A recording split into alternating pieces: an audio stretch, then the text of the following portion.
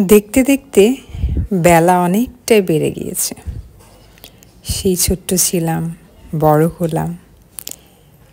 এই কাঁধে এখন আস্ত ছোট্ট একটা মানুষের দায়িত্ব। এই সংসার জগৎ এখন মনে হয় সব কিছু এই মানুষটাকে ঘিরেই। যত ভালো লাগা, মন্দ লাগা সব কিছু এখনও বড় হচ্ছে। রীতিমতো এগারো মাস শেষের দিকে এই আর কটা দিন পরে বারো মাসে পা দেবে। কি ভয়ঙ্কর রকম দুষ্ট হচ্ছে। সবাই শোনে আর বলে, তোমার বাবু তো তোমার থেকে আরও দশ গুণ হাঁটার চেষ্টা করছে, মোটামুটি আয়ত্ত করে ফেলেছে। কথা বলার আপ্রাণ চেষ্টা করে আতো আতো আতো আতো করে কথা বলার চেষ্টা করে।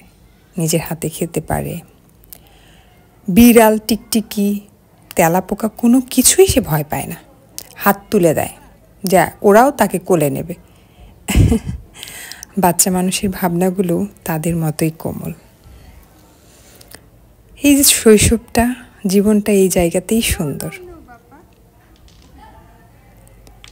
বিড়ালকে ভয় দেখায়। তুমি খাও, না হলে পাথর দিয়ে তোমার মাথায় টুস করে একটা বাড়ি দিয়ে দেব। ওকে নিয়েই কাটে আমার দিন। রাত সবটা সময়। এক মিনিট ওকে চোখের আড়াল করা যায় না। যদি ব্যথা পায়, তবুও সারাক্ষণ একটু একটু ব্যথা পেতেই থাকে। আজ তোমাদের সাথে একটা মজার রান্না শেয়ার করব। রান্নাটা হচ্ছে একদম গোটা জিরে মশলা, তারপর এলাচ, দারচিনি, আস্ত রসুন সব কিছু আস্ত দিয়ে শুকনা মরিচ দিয়ে সব কিছু একদম আস্ত দিয়ে গরুর মাংস রান্না। আর পুরো মাংসটা রান্না হবে একদম সরিষার তেলে।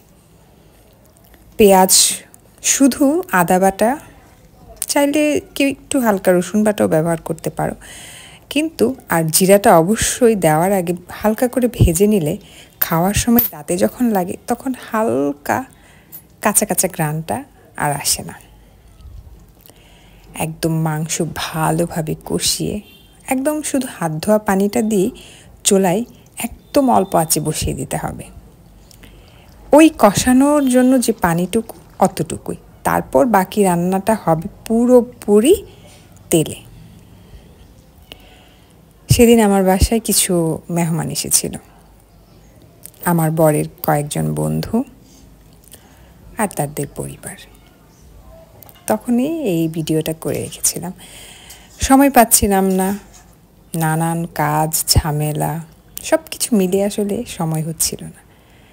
খেতে যে কি ভীষণ মজার হয়েছে। মানে কি বলব, রসুন, জিরার আলাদা আলাদা ফ্লেভার একদম ঠিক মনের মতো। অবশ্যই তোমরা খেয়ে দেখবে কেমন হয়েছে। আর আমাকে জানাতে ভুলবে না। আমার পেজে সব কিছুর আপডেট থাকে। লীলাবতী সংসারে সব কিছু আপডেট পাবে তোমরা।